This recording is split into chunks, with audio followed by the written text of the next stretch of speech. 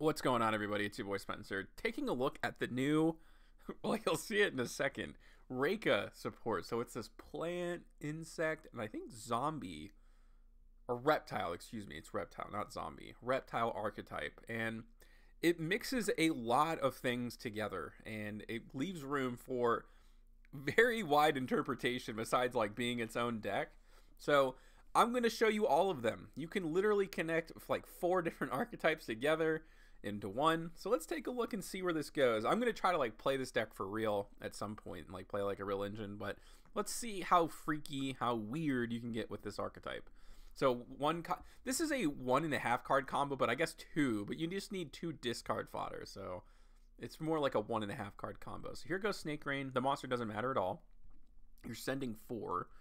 Uh, you get to bring out the Night Sword Serpent. So you're obviously, you know, dumping all these Ogdoadic monsters to then special summon themselves. So this tribute special summons, brings out a buddy, and this guy, when it's summoned, brings gives you a Ogdoadic spell and trap. Okay, so the Ogdoadic spell and trap lets you tribute a reptile monster. I think it's I don't know if it's Ogdoadic. Um, yeah, it's reptile monster, and for every two levels that it had, you get a token, which is insane because the new Link monsters, you know, only, like the only requirement is that they're plant, insect, or reptile monsters. So meaning these tokens can be really used to abuse Link summoning. So then I can go into the rank 4 to search one of the cooler combo enablers, I guess, uh, which is Serpentine Princess. So this card lets you get access to the Raika engine if you don't draw it, which is very good. So there we go. I'm going to tribute to 8, so I get 4 tokens, which is really, really nice. I can normal summon the Serpentine Princess, and then now I can start climbing to the Link 2, the Link 3, the Link 4, and the Link 5. So the Link 3 gets you the trap. So by the end of this combo, you'll have the ability to pop three cards on the field. And then there we go. All the Link monsters have the special ability. You can target a monster on the field, turn it to the deck to special summon it from the graveyard. So that's why it's like really good to like link up one at a time. Boom, boom, boom, boom, boom. So the Link 5, when your opponent special summons, I think from the deck or extra deck, you get to pop two monsters on the field, which I guess is some form of interruption. So the Link 4 can now come back, and now I have like a bunch of zones. I have like three zones left.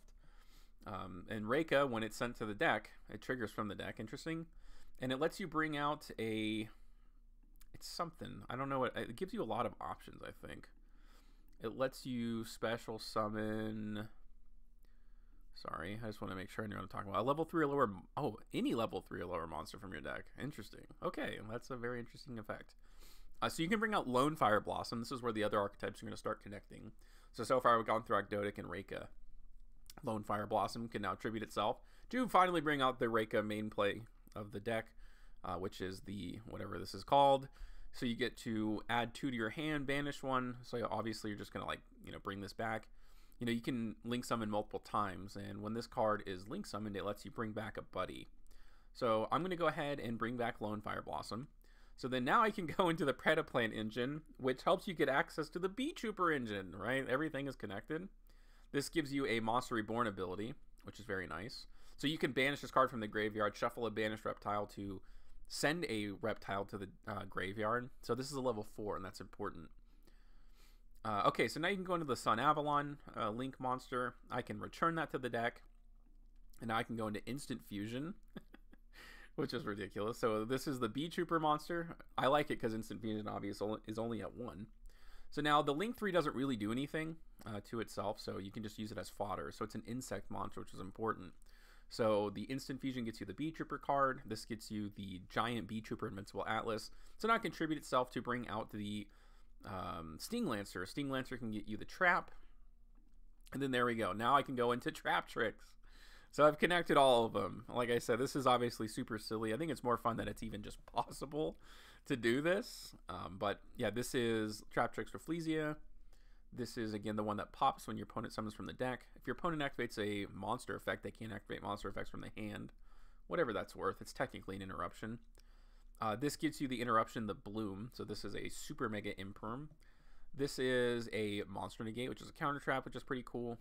And then this lets you pop three cards. It depends: insect, reptile, and plant. So I have all three on the board right here meaning that this gets the maximum of its effect. Hopefully your opponent doesn't have spell and trap cards. That's obviously like the worst part about it.